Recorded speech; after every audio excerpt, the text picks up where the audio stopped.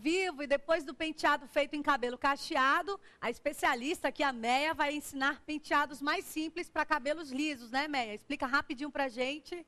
Como eu estava falando, é, quando nós não temos o tempo necessário para irmos ao salão, eu sempre recomendo acessórios.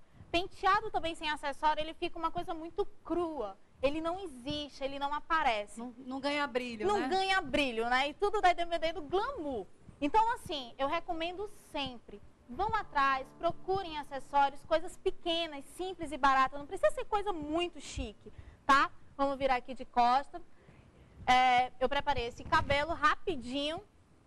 Vamos, olha só, aqui ele não aparece nada, né? Não tem nada nesse cabelo. Porém, com auxílio de grampos e alguns detalhes. Segura aqui pra mim, por favor. Olha a diferença.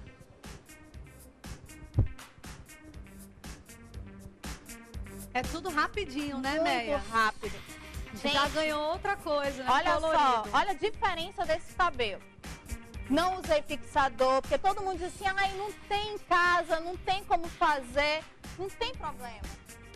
Qualquer coisinha faz Esses acessórios é bom porque não custa muito caro, né, Meia? Nem sempre a gente tá com com dinheiro, dinheiro, pra nem gastar, sempre tem né? Com disponibilidade. cabelo, né? Olha a diferença. Pedir E pra o verde mostrar tá o super detalhe. alta. Ah, vai para um casamento, para uma formatura? Olha essa trança, como ela é linda. Trança ainda está em alta, por mais que muitas pessoas pensem que ela esteja fora de moda, trança tá super em alta, viu? Olha só, baratinho, 1,50, tá? Vou logo falar o preço, que todo mundo acha que é. Olha a diferença que vai ficar esse cabelo. Oh, she's a diva. I Já deu outra vida a trança, que tá super em alta, como você disse, né, Meia? Muito Ainda em tá em alta. alta a trança. Gente, vale a pena ainda investir nela? Noivas. Olha como fica lindo esse cabelo. Bacana. Vamos pra próxima modelo, Meia? Ah, essa outra modelo também interessante. Aqui, gente, também não é cabelo de verdade, tá bom? Assim como o meu. Assim como o seu, é aplique. Olha que lindo. Eu simplesmente fiz um rabo de cavalo mais alto e fui distribuindo esses pequenos tufos. Daí a gente vai atrás disso aqui, ó. Tão simplesinho também. Pro dia a dia, assim, para uma discoteca, para uma balada, pro aniversário de 15 anos, que as meninas adoram aparecer. Olha a diferença que vai ficando.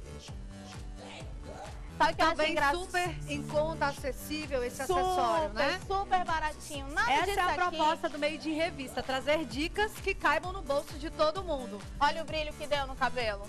Bacana, Super Meia. diferente, né? Obrigada, as meninas De continuam aqui, daqui a nada. pouquinho a gente mostra mais o desfile aí dos cabelos. Meia, obrigada, pelas Obrigada, dicas. você também. E agora a gente vai falar de um assunto sério. Cair de maduro, isso é coisa para fruta, porque os nossos velhinhos merecem todo o cuidado e respeito. E sabemos que quando a idade chega, é normal que o corpo já não tenha mais a mesma resistência. A estrutura óssea e principalmente a musculatura dão claros sinais de desgaste físico. Subir escadas, tomar banho e até aquele tapetinho que enfeita a casa da gente podem ser bastante perigosos para as pessoas com mais de 60 anos, como contam os repórteres Suelen Ribeiro e Jairo Lopes.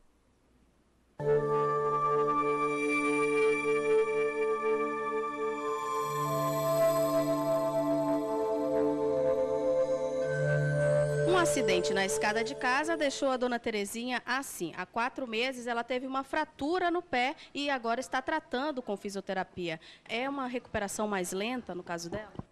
Devido a ser uma fratura que é, não está totalmente consoli- consolidada, né?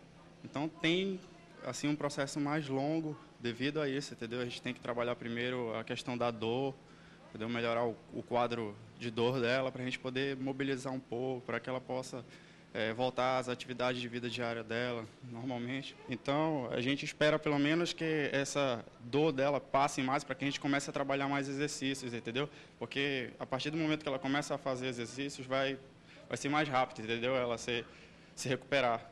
Então, dona Terezinha, como foi essa- esse acidente que a senhora teve? Foi aí na sua casa? Foi, eu fui- precisei ir no segundo piso, porque eu ia ver uma neta que dorme comigo, né?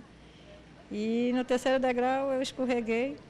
Pensei que era uma coisa leve, mas caí sentada em cima do pé e fui descendo, né? Aí não me levantei mais.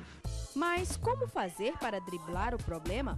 É preciso evitar quedas e acidentes, principalmente dentro de casa. Nós trouxemos a Vivian até a casa da dona Francisca Albuquerque para mostrar alguns cuidados que os idosos devem ter dentro de casa. E já na entrada nós constatamos, olha só, uma escada de caracol. Vivian, qual, qual o perigo que uma escada de caracol tem para uma pessoa idosa? Causar desequilíbrio e a queda, né? No caso seria uma escada normal, pois a de caracol, ela pode causar tontura. Dona Francisca, a senhora sobe todo dia essas escadas aqui de caracol? Sim, eu subo e desço todos os dias, de manhã e à tarde. Nunca se machucou, ainda não teve nenhuma... Graças a Deus, nunca me machuquei. Tem que ter muito cuidado, é, né? Muito cuidado, também desço com muito cuidado, quando tá chovendo, eu tenho que ter, às vezes eu tenho até que trocar o sapato, pra, porque tem sapato que é liso, mais liso que o outro, né? E às vezes eu tenho que descer até descalça, porque eu tenho medo de escorregar e, e correr o perigo de cair, né? Vivian, tem muita gente que não dá valor ao corrimão, mas é um item indispensável, né? De segurança. Ele é primordial, principalmente para o idoso, pois ele é o ponto de sustentação, né? Vencido o desafio de subir a escada de caracol, nós vamos agora entrar aqui na casa da Dona Francisca e saber o que que tem aqui de perigoso para ela. Aqui nós estamos na sala, já vi que tem um tapetinho aqui, né, Vivian? Esse tapete aqui é perigoso, é um pouquinho alto. Tapete, objetos na sala, tudo isso ele vai acarretar riscos ao idoso, a queda, né? As fraturas em idosos são assim mais difíceis, de, são tem uma recuperação mais demorada? É mais difícil pelo fato de ter perda óssea, perda de cálcio.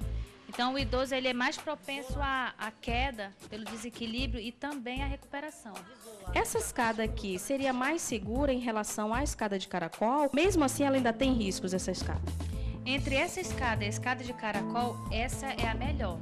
Só que nesse caso, ela está inadequada. Ela está sem proteção.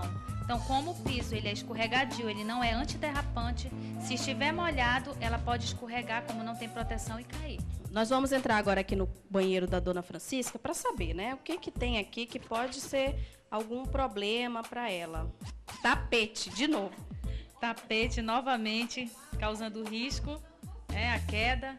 Esses tapetes aqui eles são perigosos porque eles têm uma, uma bordinha. Pessoas que não conseguem viver sem tapete. Existe tapete específico para banheiro. Ele é aderente, tá? Derrapante. Antiderrapante.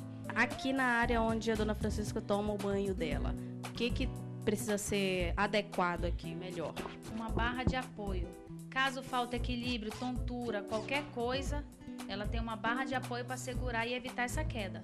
Saindo do quarto dela uma área aberta, que é alta, no segundo andar, né, da casa. Então, ela precisa ter um pouco mais de atenção aqui, né, Vivian? Porque é bem arriscado e é bem alto. É bem arriscado, pois não tem a proteção, é uma área aberta, ela pode passar, ficar tonta, passar direto, né, e causar até um acidente maior.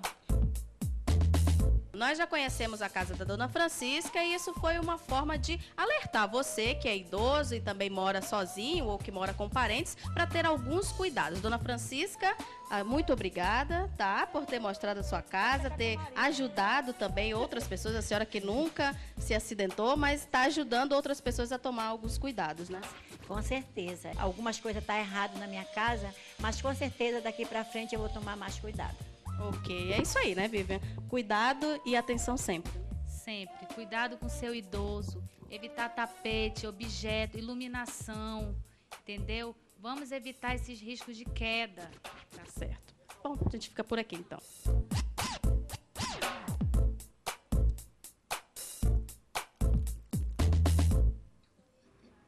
Obrigada aí a Suelen pela bela reportagem. Realmente os nossos velhinhos merecem toda a atenção e cuidado principalmente dentro de casa, né? O nosso cantinho que tem que ser só de felicidade e saúde. Antes de chamar o intervalo, eu quero reforçar aqui a promoção de hoje. Concorra a este CD da cantora Mirtes, que está aqui animando o programa desta sexta-feira, 3215-2616. E como a gente está falando de cabelos, dicas de penteados para você arrasar, também tem promoção. Concorra a 20% de desconto no tratamento de nano queratina, tá bom? Daqui a pouquinho, um bate-papo com a cantora Mirtes Melo, as atrações do programa Fala Aí e vamos saber como é que ficaram os penteados feitos ao vivo aqui no estúdio. Além, é claro, do resultado da promoção. Então, até já!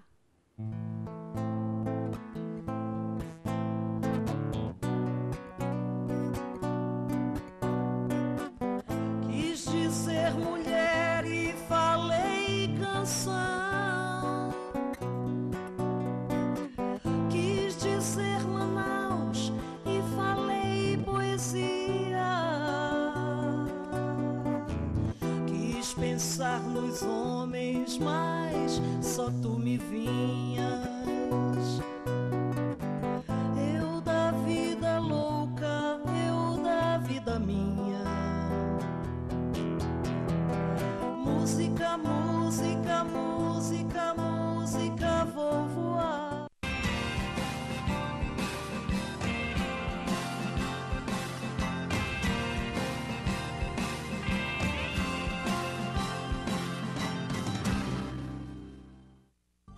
É muito bom ouvir alguém dizer que te ama, participar de eventos, assistir a um bom filme e ouvir uma boa música. Essas são situações normais. Agora, se você não consegue entender as palavras e tem dificuldade de ouvir, consulte um médico e faça uma avaliação auditiva, porque a CSA, Centro de Soluções Auditivas, mudou para melhor. Lançamentos de aparelhos e muitas surpresas.